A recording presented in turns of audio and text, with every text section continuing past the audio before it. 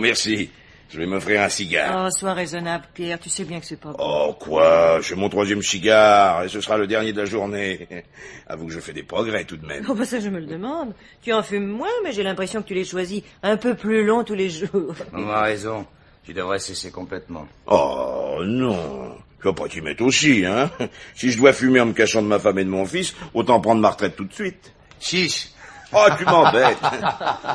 Christiane Oui. A Qu'est-ce que t'as dit de les cours cet après-midi? Ah, il est d'accord pour le devis, mais il voudrait te voir pour choisir le bois. Bon, je lui téléphonerai demain. Et toi Tu as vu Renard? Oui, il m'a montré les plans et je suis passé voir le terrain. Ouais. C'est intéressant. Je crois que ça vaudrait la peine de faire un sacrifice. Bon, bon, bon, bon, nous verrons, nous verrons. Tu sors? Non, non, je tombe de sommeil. Je crois que je n'aurai même pas la force de lire un peu. Bonsoir, papa. Bonsoir. Bonsoir, maman. Bonsoir, mon grand, bonne nuit. Tu ne passes pas au salon? Hein? Ah oui. Bah oui, oui, bien sûr, bien sûr.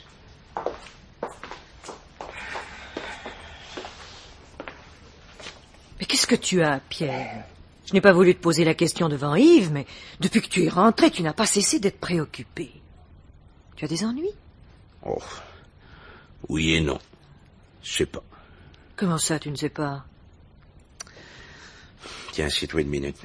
Oh, Je vais t'expliquer. L'autre jour, après que Ringier ait examiné mon cœur et qu'il m'ait mis en garde, oui. nous avons bavardé un peu. Et je fais une plaisanterie sur l'éventualité de ma disparition. Oh, parce que tu Non, t'imagines non, que... non, non, attends, attends. La question n'est pas là. De fil en aiguille, nous en sommes venus à parler un peu plus sérieusement, et c'est alors qu'il a fait allusion à ma succession. Oui. Problème qui ne m'avait jamais préoccupé, je l'avoue, et dont toi et moi n'avons jamais parlé. Et pour cause, où est-il le problème? Ah. Ah, c'est bien ce que je me dis. Tu es aussi naïve et insouciante que moi. Parce que nous avons travaillé pendant 25 ans en ne pensant qu'au chantier, parce que tu m'as aidé à en faire ce qu'il est devenu, et parce que tu as élevé Yves et Bernard sans faire la moindre différence, tu t'imagines que tout est simple. Il n'en reste pas moins que si je mourais demain, Bernard hériterait des trois quarts de tous nos biens. Mais comment ça? Quand Isabelle est morte, en mettant Bernard au monde, son père a pris certaines dispositions. Il voulait bien que je me remarie pour que Bernard ait une mère. C'était même indispensable. Mais il entendait protéger son petit-fils. Il m'en a d'ailleurs prévenu très honnêtement et j'ai trouvé la chose naturelle. Du moment que cela ne changeait rien, que je gardais l'affaire en main et que nous vivions tous en harmonie, pas de problème. Bon, et maintenant? Eh bien maintenant c'est assez simple. Toi et moi, depuis 25 ans, nous avons travaillé gratuitement à multiplier par 10 le capital de Bernard. Il ne vit plus avec nous. Vendre du bois serait indigne de lui. Et c'est son frère qui travaille comme quatre, mais c'est tout de même lui le patron. Tu ne trouves pas ça un peu violent, non? Oui, oui, oui, peut-être avons-nous été un peu négligents, tu as raison, mais enfin, il n'y a pas de quoi dramatiser, non? Nous nous entendons très bien avec Bernard. Il a toujours montré beaucoup d'affection pour moi, et je le vois mal en train de nous faire des histoires. Tant que je serai là, aucun risque, d'accord. Je n'y serai pas toujours. C'est bien ce qui m'inquiète. Non, non, j'irai le voir la semaine prochaine. Et pour lui demander quoi? De régulariser cette situation de façon normale et équitable. Si je viens à mourir, j'entends que tout soit réparti en trois parts égales.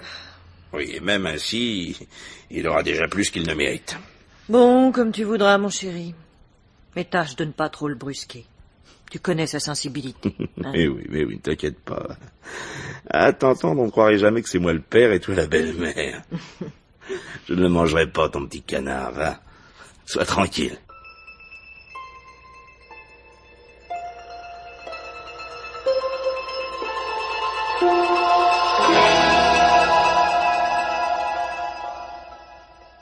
Allô? Allô, police secours Ici Marcel Dognou, chauffeur de taxi. J'ai un client qui vient de s'affaler sur ma banquette arrière. Je suis... Je suis dans la rue Monsieur le Prince, à l'angle de la rue Racine. Quoi? Bah... Bah... Bah oui, évidemment, si c'était pour une entorse, je vous aurais pas appelé. Oui. Oui. Oui, bah je suis peut-être pas médecin, mais vous pouvez me croire quand même. Hein. Il est tout ce qu'il y a de plus mort, mon client.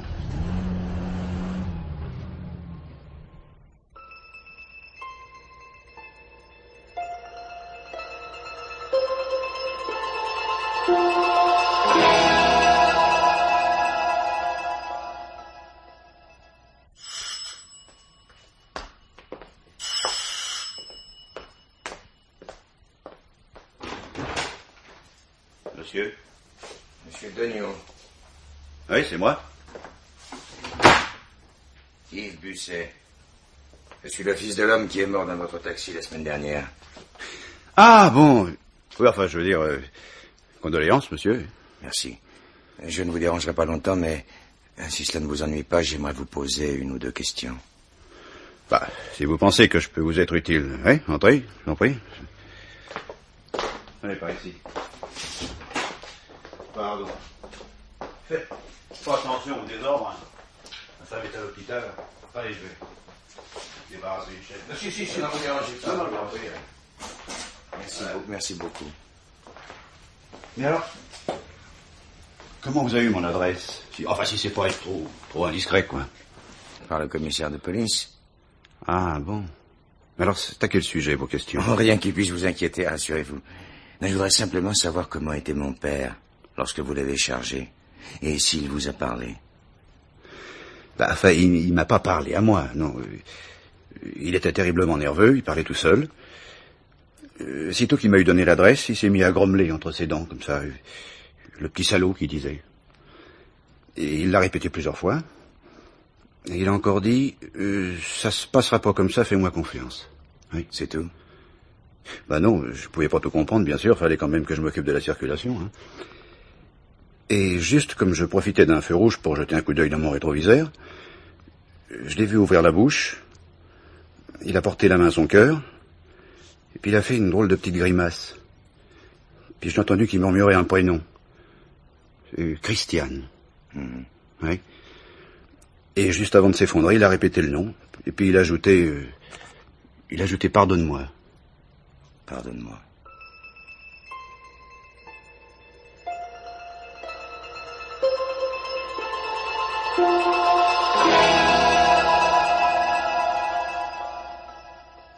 Christiane, pardonne-moi.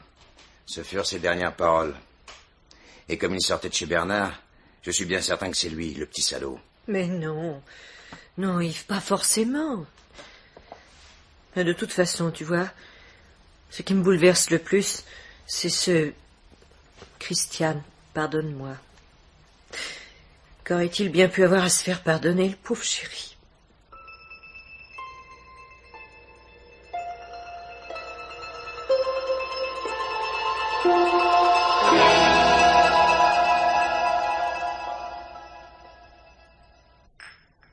Encore un peu de café, Bernard? Non, merci. Et toi, Yves? Non, merci, maman. Tu ne crois pas qu'il serait temps de nous dire pourquoi tu es venu Pas pour le seul plaisir de notre compagnie, je suppose. Oh là, oh là, oh là, oh là, vous êtes bien agressif, monsieur mon Yves frère. est fatigué, mon petit Bernard, tu le sais. Faire son travail habituel et remplacer ton père en même temps, c'est pas une petite affaire. D'ailleurs, il va falloir que nous trouvions quelqu'un. Mhm, je vois. Eh bien, c'est précisément pour parler du chantier que je suis venu. Quelles sont vos intentions exactement? Comment ça, nos intentions? On continue, un point c'est tout. C'est ce que votre père aurait voulu. Il me l'a dit plus d'une fois. Que nous restions unis et que l'affaire continue de progresser. Si tu veux laisser tomber l'administration et venir travailler avec nous, c'est le moment ou jamais. Trop aimable. Mais en somme, tu m'offres généreusement une situation dans mon entreprise. Dans ton entreprise. Bah, ne fais pas l'innocent, tu n'as jamais su. Il y a un mois que père est mort et le moment est venu de faire les comptes. Christiane et toi, vous ferez ce que vous voudrez, mais moi j'ai besoin d'argent, alors je vends. Qu'est-ce que tu Mais dis c'est impossible, Bernard, tu ne te rends pas compte Je me rends parfaitement compte. Je me rends compte que l'affaire est excellente, facile à vendre et que je suis largement majoritaire. Si toi et Yves voulez me la racheter, libre à vous. Mais Si tu nous accordes des délais raisonnables, c'est faisable, évidemment. Désolé, mais j'ai des projets qui m'obligent à vendre tout de suite et au comptant. Si vous manquez de moyens, d'autres en auront. Oh, mon pauvre Bernard, si ton père t'entendait. S'il m'entendait, il changerait peut-être d'avis. Il constaterait qu'en fin de compte, le pauvre petit canard ne se défend pas si mal. L'affaire t'appartient, c'est entendu. Et elle vaut de l'argent. Mais grâce à qui? Ne perds pas ton temps, je sais. Mais c'est bien parce que je connais les qualités de Christiane que je ne m'inquiète pas pour elle. Elle n'a que 47 ans. Elle trouvera bien le moyen de les employer ailleurs.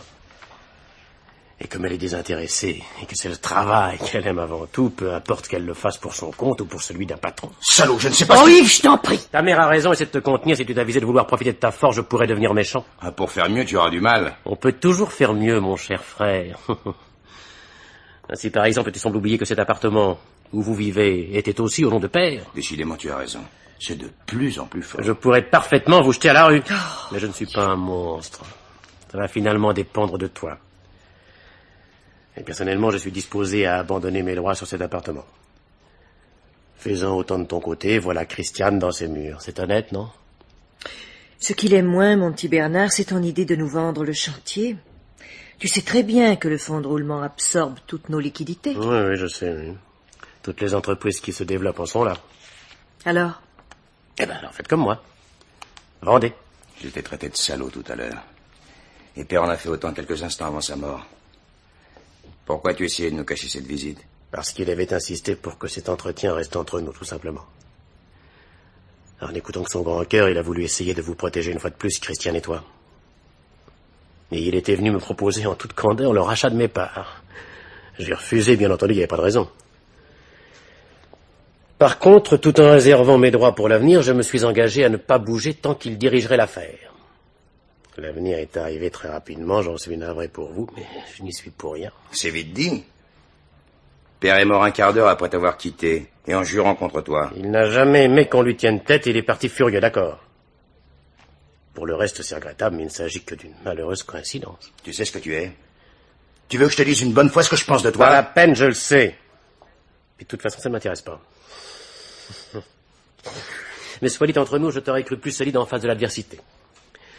Prendre des airs protecteurs quand on est costaud, que tout va bien, c'est facile.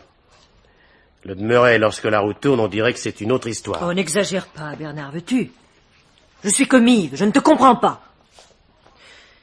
Je ne t'en veux pas non plus. Dans le fond, je crois que tu es à plaindre. Non, mais garde ta pitié, tu m'en as suffisamment gavé quand j'étais petit. Et aujourd'hui, même si je n'ai pas les muscles de ton fils, je suis plus fort que vous deux réunis. Et je suis venu pour parler affaires. Tu as raison, je crois que c'est le seul domaine où nous ayons encore quelque chose à nous dire. Ne serait-ce que pour la mémoire de ton père, je vais faire l'impossible pour conserver le chantier. Je te demande un peu de temps pour chercher des capitaux. À la bonne heure. Toi, au moins, tu ne perds pas le nain, hein, de la décision et des affaires avant tout. C'est comme ça qu'on arrive à quelque chose. Fais attention, Bernard, je te préviens pour Oh, Yves, je t'en prie, tais-toi J'ai demandé un délai à ton frère, c'est à lui de parler maintenant. Je ne suis pas disposé à attendre très longtemps, mais j'ai décidé de prendre quelques vacances et je pars demain pour Belle-Île-en-Mer. Je ne ferai donc rien avant mon retour. Probablement dans une dizaine de jours. Alors si vous avez besoin de me joindre, je serai à l'hôtel de Port-Coton. Seulement attention, hein, ne me dérangez pas pour me demander un délai supplémentaire.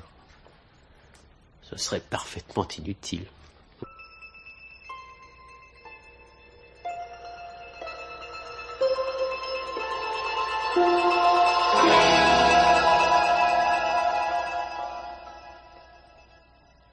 Cet équipement de chasse sous-marine, vois-tu, cette combinaison, ces bouteilles et ce fusil, tu ne peux pas savoir ce que ça représente pour moi.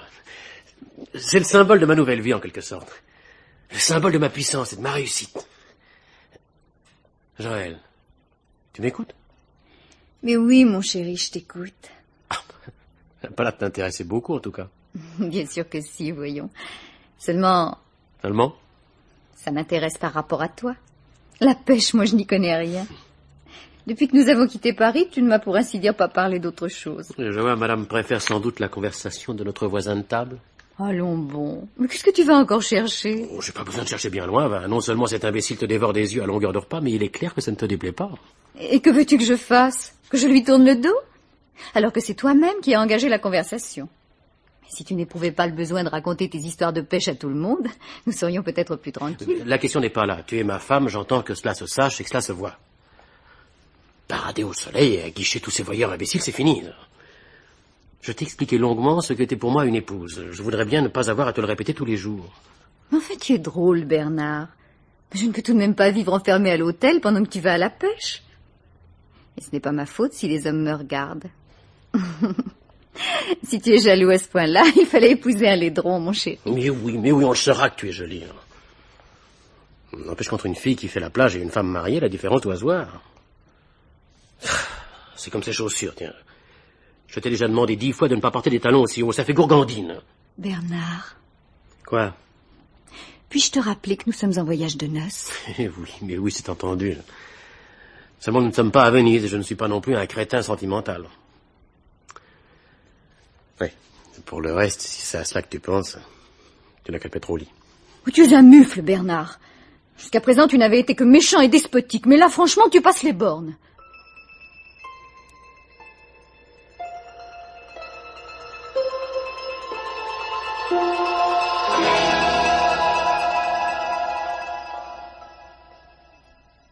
Voilà, monsieur Meunier.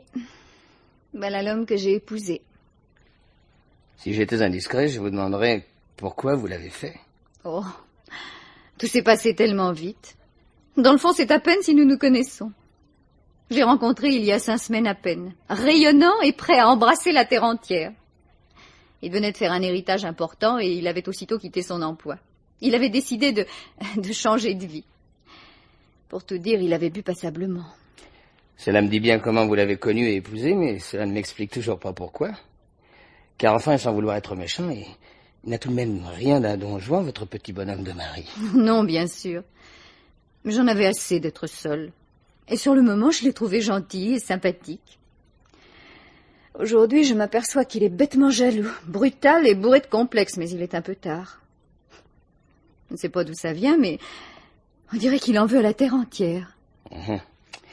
Mais ce qui m'étonne avec un tel caractère, c'est qu'il ne vous oblige pas à le suivre à la pêche. Vous n'avez pas peur qu'il nous voie ensemble? Non. Pour un peu, ça m'arrangerait plutôt.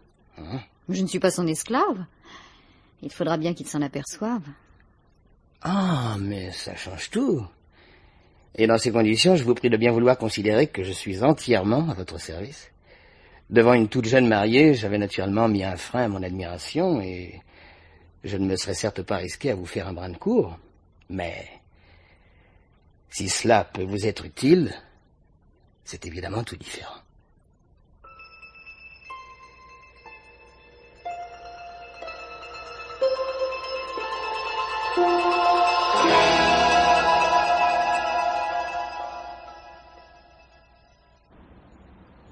Bernard Nicole Ah, Qu'est-ce que tu fais là? Oh bah ça alors Et toi Euh, Voyage d'affaires. C'est mon droit, je suppose, non Un voyage d'affaires Hmm. Tu viens à Belle-Île, tu sais que je suis en vacances à Quiberon et tu ne me dis rien Oh bah ça alors En somme, si j'étais pas venu ici en excursion, je n'aurais même pas su que tu étais là. Les affaires d'abord, je te l'ai toujours dit. Mais si je comptais passer par Quiberon en rentrant et te faire la surprise. Tu es seul Non, papa et maman sont avec moi. Et toi Quoi, moi Tu es seul Évidemment, je suis seul. Tiens, asseyons-nous là. hein Prends un verre. Je te préviens, j'ai pas beaucoup de temps. Euh, garçon Garçon, deux cafés. Bernard, Hum? Si je m'arrangeais pour que papa et maman rentrent à Quiberon sans moi, ça te ferait plaisir? T'es folle, non? Tu veux tout de même pas leur dire j'ai rencontré Bernard, je reste passer la nuit avec Oh, bah, bien sûr que non, je trouverais autre chose. Nous avons beau être fiancés, ils n'apprécieraient pas. D'ailleurs, à ce Euh, propos, je- Pardonnez-moi de vous interrompre, monsieur, mais on vient de téléphoner. On vous attend à votre hôtel. Votre frère vient d'arriver. Mon frère De Paris, oui. Il vous attend au bar avec votre femme. qu'est-ce qu'il a dit? Il a dit votre frère vous attend au bar avec votre femme. Et maintenant, je te préviens que si tu fais mine de commencer une scène, je te plante là définitivement. Bernard. Bernard, oui, je suis marié, tu viens de l'entendre. Ça ne change absolument rien pour nous, je peux m'expliquer très bien là-dessus. Mais à condition que tu laisses tes larmes au vestiaire. Oh, Qu'est-ce que tu veux m'expliquer? Que tu m'as promis de m'épouser alors que tu étais déjà mariée C'est classique et je me suis laissé prendre comme la dernière des idiotes. Je n'ai pas fait que te promettre le mariage, si j'ai bonne mémoire. Je t'ai aussi remis un testament faisant de toi ma légataire universelle. Lequel testament est toujours en ta possession. Étant marié sous le régime de la séparation, il est parfaitement valable. Et il n'y a rien de changé entre nous.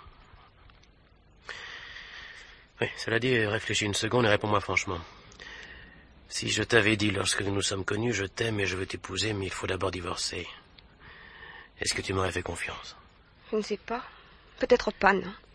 Tu peux même dire sûrement pas. Alors je le savais, c'est ce qui m'a condamné à mentir. À cela mis à part, je t'aime et il n'y a rien de changé. Tu veux dire que... Que je divorce parfaitement. J'ajoute que la procédure est déjà entamée. Il y a longtemps que t'es marié? Ah, bien trop longtemps, hélas. Si tu y tiens, je te raconterai tout ça un jour. Pour l'instant, j'ai d'autres soucis. Cette visite de mon frère ne me dit rien qui vaille. Pourquoi? Il sait que je suis ici pour affaire et qu'il risque d'y perdre le chantier. Il est sans doute venu se traîner à mes pieds, mais il en sera pour ses frais de voyage. Seulement, tu comprends bien, petite Nicole, que ce n'est vraiment pas le moment de m'accabler. Oh, bien sûr, mon chéri, bien sûr. Ah, du moment qu'il n'y a rien de changé entre nous, t'as raison. Les affaires avant tout. Merci, mon petit, merci. Je savais que tu me comprendrais. Bon, alors maintenant, tu vas être gentil et regagner Quiberon avec papa et maman. hein? Quand tu rentreras de vacances, mes affaires seront réglées, mon divorce bien avancé, et nous pourrons enfin parler sérieusement de nos projets. Tu veux Très bien, mon chéri, je te fais confiance. Seulement, Seulement? j'espère que tu n'es pas en train de me raconter des histoires. Moi, si c'était le cas, je ne pourrais que pleurer et être malheureuse, mais, mais mon père ne l'accepterait pas. Qu'est-ce que ton père vient faire ici? Eh bien, il est au courant de nos fiançailles, je te l'ai dit. Il attend toujours que tu viennes te présenter. S'il apprenait que tu t'es moqué de moi, je, ne sais pas de quoi il serait capable. Il est terrible, tu sais. C'est un homme à principe et qui ne badine pas. Aucun danger, fais-moi confiance. Par contre, à propos de danger, je n'aime pas beaucoup l'idée de mon frère et de ma femme en train de discuter derrière mon dos. Dans notre intérêt à tous les deux, mieux vaudrait que j'y aille sans plus tarder. Ah oui, bien sûr, je comprends. Tu ne m'embrasses pas euh, pas en public, voyons, soyons prudents. hein. Bon, je te ferai signe dès ton retour à Paris. Au revoir.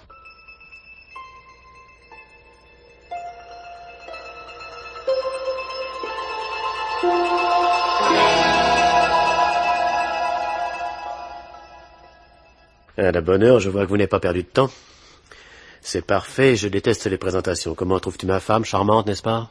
Très charmante, oui. mais- Enfin, tout de même, tu aurais pu... Vous envoyez un faire-part. Désolé, mais cela s'est passé dans la plus stricte intimité. Enfin, je ne parle pas pour moi, mais je pensais que maman... euh, Euh, Tu veux dire à Christiane? Oui, mon cher petit frère dit toujours maman, mais il oublie que ce n'est pas la mienne. Où est la différence? Tu n'avais même pas deux ans, comme... Mais oui, mais oui, je t'ai entendu. Seulement, tu n'es pas venu jusqu'ici pour fêter l'album de famille, je suppose, non? Alors, de- débite ta petite histoire et finissons-en, veux-tu? Parce que tu n'y as peut-être pas songé, mais je suis en voyage de noces, moi. D'accord. Je voudrais que nous parlions seul à seul un instant. Désolé, mon vieux, mais je n'ai pas de secret pour ma femme et j'ai pas de temps à perdre. Cet endroit est parfaitement tranquille, je te donne cinq minutes. Il s'agit du chantier, tu dois t'en douter. Pas possible. Nous avons bon espoir de trouver l'argent nécessaire, mais ça ne peut pas se faire en un jour, évidemment. Évidemment, oui. Malheureusement, mon cher, je suis logé à même enseigne et l'affaire que j'ai en vue, je ne pourrai pas la payer avec tes espoirs. Je ne te demande pas grand-chose. Juste une semaine supplémentaire. Une semaine. Et pour une pauvre petite semaine, tu n'as pas pu attendre mon retour. Il a fallu que tu viennes me relancer. Si je suis venu te relancer, comme tu dis, c'est que des acheteurs se sont présentés. Envoyés par toi. Ah bah c'est possible, ça je t'en enverrai d'autres, il faut te faire une raison. Pas la peine. Ceux-là semblent sérieux et ils sont preneurs. Eh ben mais c'est parfait. Voilà au moins une bonne nouvelle. Je leur ai dit que nous avions une option. Petit malin, va. Tu mériterais que je leur télégraphie. Sincèrement, je ne te le conseille pas. Oh, ça, mais... Tu me menaces, on dirait. Non, non, non, non, non. Parce que tout de même, je ne te crois pas Tu capable. ne m'as jamais cru capable de rien. hein. Tu en as profité longtemps pour jouer les protecteurs et te faire valoir. Mais c'est fini, mon cher. Fini. Enini. Si tu ne veux pas repartir ce soir, j'irai peut-être jusqu'à t'offrir à dîner, mais c'est vraiment tout ce que je peux faire pour toi. Tu es une ordure, Bernard. Une sale petite ordure. Tu as réussi à tuer notre père, mais je te jure bien que tu ne vas pas ruiner Christiane. J'ignore comment tu comptes t'y prendre, mais je te conseille de faire vite. Parce que je vais téléphoner à mes acheteurs pour leur dire que non seulement il n'y a pas d'option, mais que je rentre dès demain pour signer avec eux. Et je vais te dire encore mieux, mon bonhomme. Même si tu trouvais des capitaux, et même si tu doublais les enchères, je vendrais quand même aux autres. Maintenant, débarrasse-nous de ta personne. J'aimerais bien prendre l'apéritif tranquillement.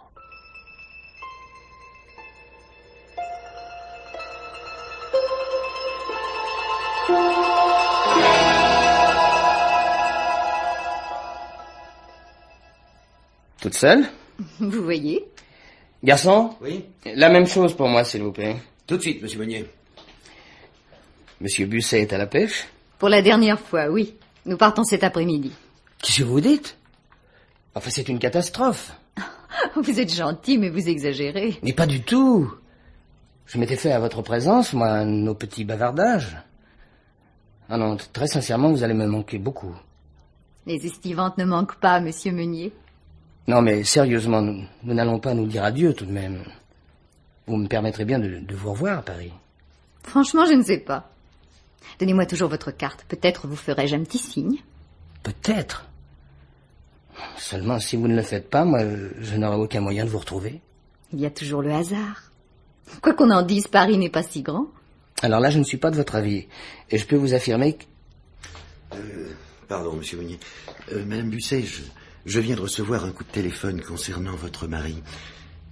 Euh, Madame Busset, il a eu un accident.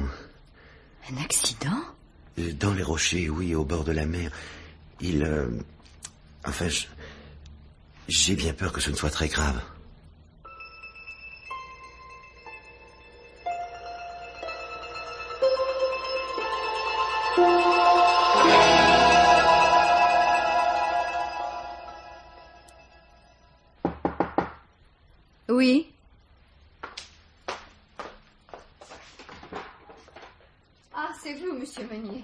Entrez, je vous prie.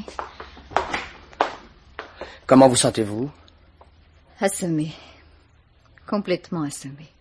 Ah oui, je comprends cela. J'ai obtenu des gendarmes qu'ils vous laissent le temps de vous reposer un peu avant les formalités d'usage. Malheureusement, il en est une que je ne puis vous éviter. Il va falloir que vous alliez re- reconnaître le corps. Tout de suite. Le plus tôt sera le mieux, croyez-moi.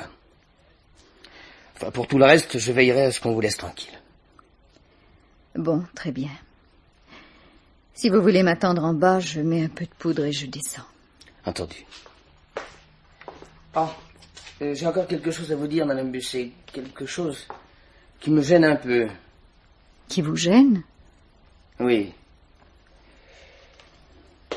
Je suis bien ici en vacances et je travaille effectivement dans l'administration, comme je vous l'ai dit.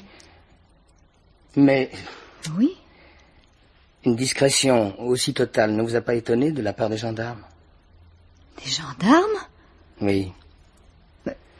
Vous ne voulez tout de même pas dire Que, que... je suis de la maison, c'est inspecteur à la brigade criminelle de Paris, pour être précis. Ah, ça alors? Mais... Mais pourquoi m'avez-vous menti? Moi, je ne vous ai pas menti, à vous spécialement. Personne ici, pas même le directeur de l'hôtel, ne savait que j'appartenais à la police. Pourquoi? Vous en avez honte? Non, pas le moins du monde. Mais je suis un homme comme les autres et en vacances, plus que partout ailleurs, j'aime bien passer inaperçu. Sans compter qu'en révélant ma profession, je me condamne pratiquement à parler métier du matin au soir. Oui. Oui, bien sûr, je comprends.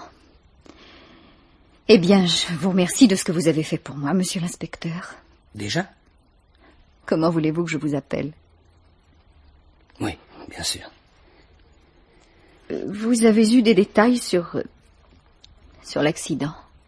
Bah, je sais tout ce que l'on peut en savoir, mais ce n'est pas beaucoup. Cet endroit de la côte est particulièrement retiré, peu fréquenté, il n'y a pas eu de témoins. D'après les premières constatations, il semble que votre mari ait nagé le long de la côte, assez loin de l'endroit où il avait laissé ses vêtements. S'il est sorti de l'eau pour éviter de revenir à la nage, il aura sans doute choisi de revenir en coupant par le chemin de la falaise. C'est ce qu'il faisait en général, oui. Dans ce cas, il sera tombé juste au moment d'amorcer la descente, car on l'a retrouvé presque à côté de ses vêtements. Pauvre Bernard. Oh, c'est terrible. Oui. Dites-moi, Madame Busset, est-ce que vous savez si le frère de votre mari est encore là? Je ne sais pas, non. Je suppose qu'il a dû repartir. Pas hier, en tout cas. Je l'ai aperçu bien après l'heure du dernier bateau pour le continent. C'est possible. Tout ce que je puis vous dire, c'est que nous ne l'avons pas revu et qu'il n'a pas pris de chambre ici. Mais pourquoi cette question? Vous n'allez tout de même pas imaginer. Non, que- non, non, bien sûr. Non. Encore que... Oui? Lorsqu'il n'y a pas de témoins, ce genre d'accident reste toujours un peu mystérieux, vous savez.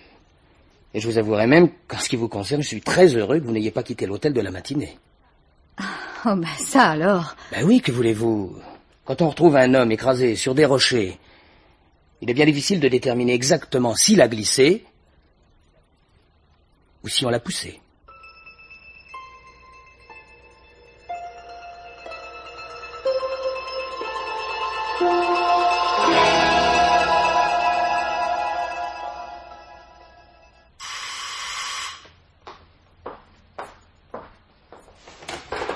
Madame Christiane Busset? C'est moi, oui. Inspecteur Meunier de la brigade criminelle. Pourriez-vous m'accorder quelques instants, madame, s'il vous plaît? Entrez, monsieur l'inspecteur. Merci. Asseyez-vous, je vous en prie. Peut-être vous doutez-vous de l'objet de ma visite? Ah, ben, à moins qu'il ne s'agisse de l'accident survenu à mon beau-fils, non, je ne vois pas. C'est bien de cela dont il s'agit, oui. Ah? Ça vous étonne? Un peu, oui. Il s'agit d'un accident, l'enquête est close, et, et vous me dites appartenir à la brigade criminelle, alors... Non, vous avez raison, pas- madame, l'enquête est close et je ne vous cacherai pas que je ne suis pas ici en service commandé. Ah bon? Eh bien, je vous écoute, monsieur l'inspecteur. Voilà. Euh, En vacances à Belle-Île, je me suis trouvé voisin de table de votre beau-fils et de sa femme. Oui.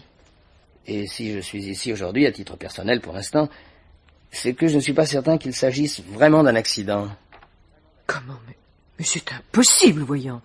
Ce serait Monstrueux, oui, monstrueux, c'est le mot qui convient pour la plupart des crimes. Mais il y en a malheureusement tous les jours. Enfin, cela dit, je n'affirme pas encore que nous soyons en présence d'un crime. Et je- Là, maman, je ne t'ai pas entendu. Ah, Oh, pardon. mon fils, monsieur l'inspecteur. Monsieur Le frère de Bernard. L'inspecteur Meunier de la brigade criminelle. La brigade criminelle? Bonjour, monsieur. J'étais en train d'expliquer à madame votre mère que j'ai quelques doutes concernant la mort accidentelle de votre frère. Et j'allais précisément ajouter que, si nous pensons crime, je serais fondé à vous demander quelques explications. Qu'est-ce que vous dites? Non, laisse, maman, ne Enfin, t'inquiète pas. Continuez, monsieur l'inspecteur. Merci. Non, si je ne m'abuse, vous étiez encore à Belle-Île le matin de l'accident. C'est exact, oui. J'avais vu mon frère la veille au soir et il n'avait pu attraper le dernier bateau. Je suis donc parti le lendemain, mais sans savoir que mon frère était mort, bien entendu. Dans le cas contraire, je me serais fait connaître. À quelle heure êtes-vous parti? J'ai pris le bateau de 16h30. Et il y en avait le matin, pourtant. Étant réveillé un peu tard, j'avais décidé de déjeuner là et de faire un petit tour. En passant, je vous signale tout de même que j'étais au palais, et non à Port-Coton. Ah, je ne l'ignore pas, monsieur Busset, mais vous avez très bien pu prendre un car pour Port-Coton et pousser ensuite jusqu'aux falaises. Vous y rencontrez votre frère. Vous vous disputez. Mais enfin, c'est insensé, monsieur l'inspecteur. Vous n'avez pas le droit. Je t'en prie, maman. L'inspecteur ne m'accuse pas. Il énumère des possibilités. Or, il a parfaitement raison. Matériellement, j'ai très bien pu tuer Bernard. Ah non, mais tu deviens fou, toi. Laisse-moi parler. Je te jure que je n'ai pas tué Bernard. Mais il n'en est pas moins vrai que j'aurais pu le faire. Et, la- et- et l'inspecteur finira bien par apprendre, s'il ne le sait déjà, que nous nous détestions. Oh, maintenant tais-toi, ça suffit. Non. Ridicule. Mon frère était un pauvre type.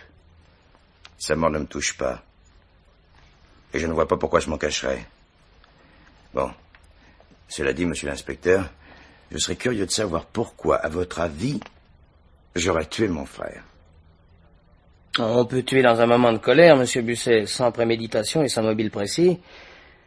Cependant, côté mobile, je crois savoir que votre frère menaçait de vous chasser d'ici, purement et simplement. Non, mais puisque vous êtes si bien renseigné, vous devez savoir également qu'il venait de se marier. Si sa femme hérite, ce qui est probable, cela ne changera rien pour nous. Cette jeune personne n'a peut-être pas les mêmes raisons de vous en vouloir. Il est possible qu'elle se montre plus conciliante. Pour tout vous dire, je la connais un peu. Et elle m'a dit avoir été très choquée par l'attitude de son mari envers vous.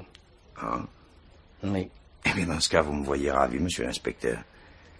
Je n'avais rien prévu de tout cela, je n'ai pas tué mon frère, mais vraiment, je suis ravi de ce que vous m'apprenez.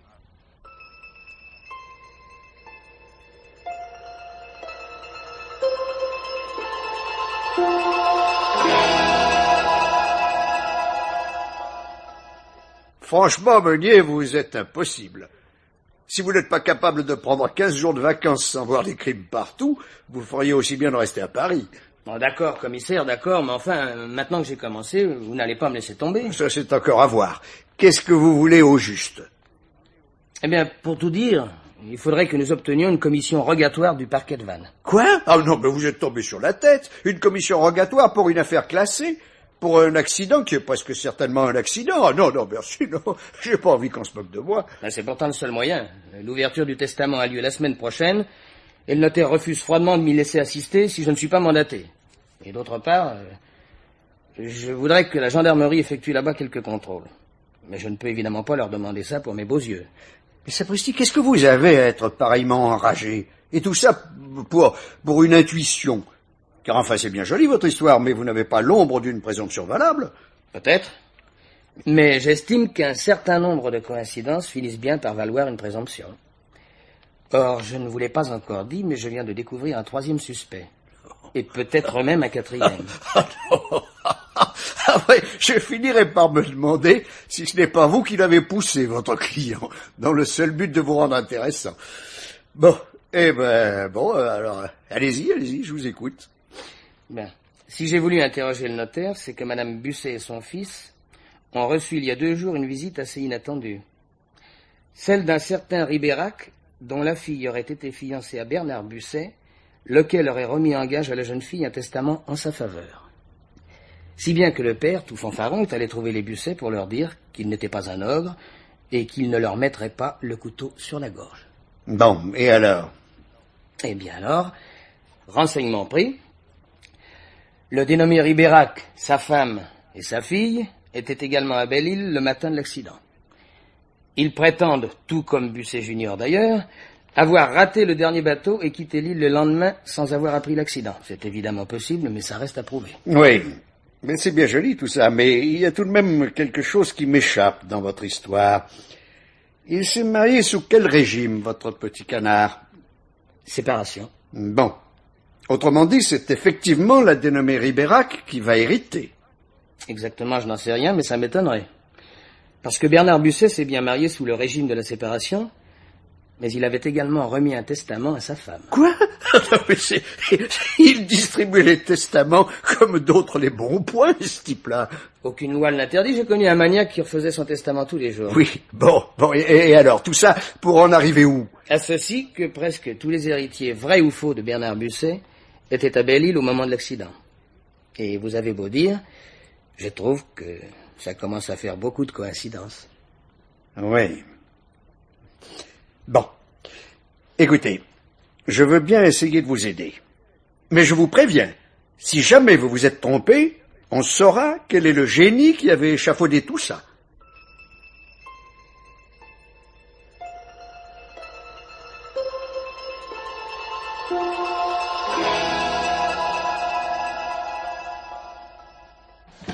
Voilà. Très bien. Euh, Mesdames, Messieurs, avant de vous faire connaître les dernières volontés de M. Bernard Busset, mon client, je tiens à préciser que je ne suis pas responsable de la présence ici d'un officier de police. L'inspecteur Meunier, que voici, étant nanti d'une commission rogatoire, je n'ai pu que m'incliner. Autrement dit, on nous soupçonne? Je l'ignore, mademoiselle. Mais vous pourrez interroger l'inspecteur tout à l'heure. Euh, Pour l'instant, et puisque le document que vous avez produit est le premier en date, je vais en donner lecture.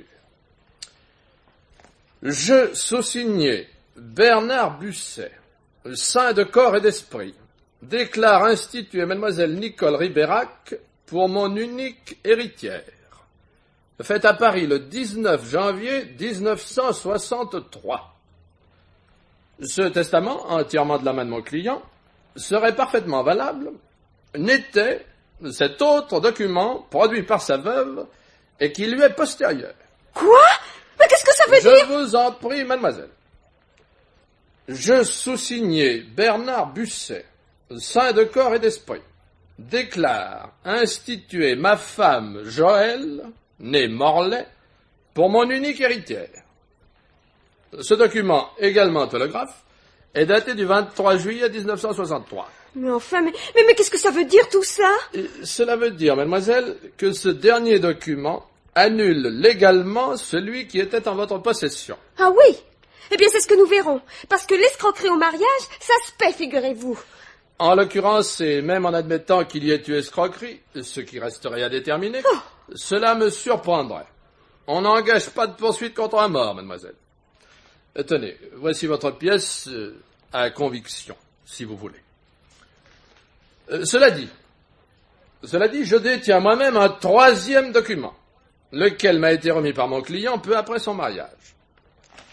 Le voici.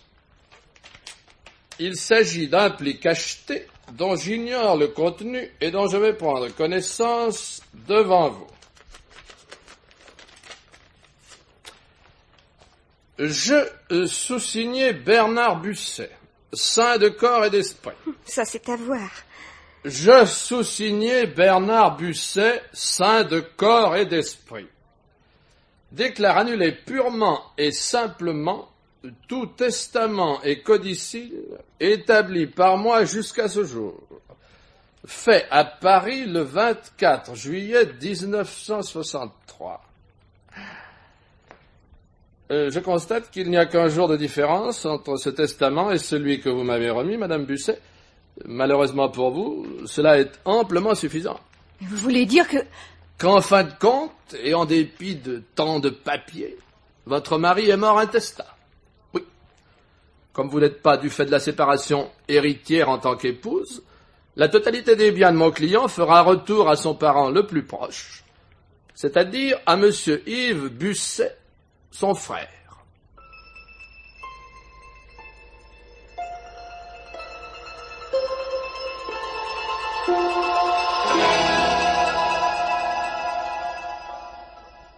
En somme, mon cher Meunier, tout est bien qui finit bien. Le bon frère et la gentille belle-mère garderont leur entreprise. Et la jolie veuve, se retrouvant finalement sans un sou, vous oserez peut-être reprendre votre cours. Hein et le crime dans tout ça, hein Ce fameux crime, pour lequel vous m'avez fait jouer des pieds et des mains. Où est-il? Dans ma poche, commissaire. Quoi? Bernard Busset a bien été assassiné et je ne sais par qui. Malheureusement, je n'ai pas l'ombre d'une preuve et confondre l'assassin ne sera peut-être pas facile. Il va falloir que vous m'aidiez. Écoutez-moi bien, Meunier. J'ai toujours eu un faible pour vous, sans trop savoir pourquoi d'ailleurs. J'ai souvent cédé à vos caprices. Seulement cette fois-ci, vous ne m'aurez pas. Vous m'entendez? Vous ne m'aurez pas. Rien à faire. Eh ben, tant pis, commissaire. Nous laisserons rire les gendarmes de Belle-Île et courir notre assassin. Parce que sans la petite opération que je projetais, impossible de le confondre. Hein? Ce... Mais vous, vous êtes vraiment sûr de votre affaire? Ma future promotion au feu. Oui. Et ce serait quoi exactement votre petite opération? Oh, une simple arrestation. Mais je vois une simple arrestation sans motif valable, bien entendu. Il s'agit d'un prix de justice. Trafiquant, faussaire, proxénète d'occasion. Enfin, on trouvera toujours quelques questions à lui poser. Oui. Bon. Et, et après? Eh bien, après, ça sera presque tout.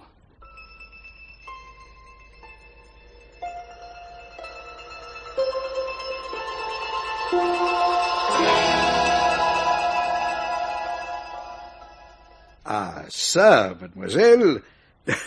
Pardon. Madame, je vais dire, excusez-moi. Vous pouvez vous vanter de lui avoir tourné la tête à mon inspecteur. Ce n'est plus un jouvenceau, je lui ai toujours connu la tête solide, mais là, franchement, je ne le reconnais plus. Il est très gentil, je me demande ce que j'aurais fait sans lui. Nous avions sympathisé dès que nous avons fait connaissance, mais après le malheur qui est arrivé, il a vraiment été extraordinaire. Croyez bien qu'à sa place, j'en aurais fait autant. Nous ne sommes pas tous des ogres, quoi qu'on en dise. Eh bien, je m'en aperçois, oui. Cela dit, Madame Busset, ne croyez pas que la seule curiosité m'ait poussé jusqu'ici. Si je suis venu vous voir, c'est qu'il y a du nouveau concernant la mort de votre mari. Ah? Oui. En fait, Monsieur Busset a bel et bien été assassiné. Et nous avons arrêté le coupable. Non. Si. D'ailleurs, je vois que vous avez là plusieurs journaux. Peut-être avez-vous lu le compte-rendu de cette arrestation sans savoir de quoi il retournait. C'est possible, oui. Jean-Luc Soria. Ça ne vous dit rien Non. Il est pourtant votre amant depuis plus de cinq ans.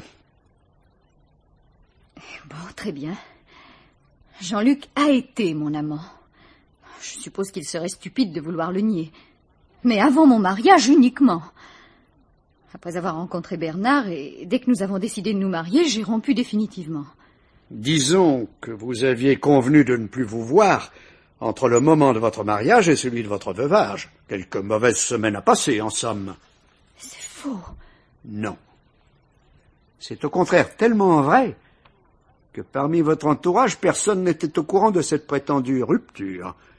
et qu'à tous ceux qui lui demandaient de vos nouvelles, Soria répondait que vous étiez en vacances. Forcément, vous avez déjà vu un homme se vanter d'avoir été plaqué? Non, bien sûr, et surtout pas après avoir été publiquement adoré pendant des années, car là encore les témoignages concordent, vous êtes folle de lui. Je l'ai été, oui, je ne m'en cache pas. Jusqu'au jour où le pas très séduisant Bernard Busset est arrivé et vous a subjugué. Bernard m'offrait le mariage, la sécurité. Ça compte pour une femme. C'est ce que vous aviez déjà dit à l'inspecteur Meunier, je sais. Malheureusement pour vous, vous avez cru bon d'en rajouter. Vous avez spécifié qu'avant votre mariage, vous étiez triste et solitaire. Et ce fut votre plus grande erreur, sinon la seule. Évidemment, vous ignoriez peut-être que les congés payés existent aussi dans la police. Toujours est-il que mon jeune inspecteur vous voyait mal en pauvre fille délaissée. Et lorsque la mort de votre mari l'a poussé à faire une petite enquête, il a tout naturellement commencé par jeter un coup d'œil sur votre passé. Nous avons arrêté Jean-Luc Soria il y a quarante-huit heures. Je pourrais vous dire qu'il est passé aux aveux pour essayer de provoquer les vôtres, mais ce ne sera même pas nécessaire. Nous avons envoyé des photographies de lui à Belle-Île et nous avons reçu ce matin une confirmation formelle. La veille et le jour même où votre mari est mort, Soria était là-bas. Madame Busset, je vous arrête pour complicité dans l'assassinat de votre mari. Assassinat inutile s'il en fut, puisque de toute façon vous n'héritiez pas de lui. En définitive, et pour ce qui est de la mystification, la palme revient décidément à votre mari. Ce n'était certes pas un personnage très, très intéressant, ce petit canard. Mais vous avez tout de même eu tort de le prendre pour un pigeon.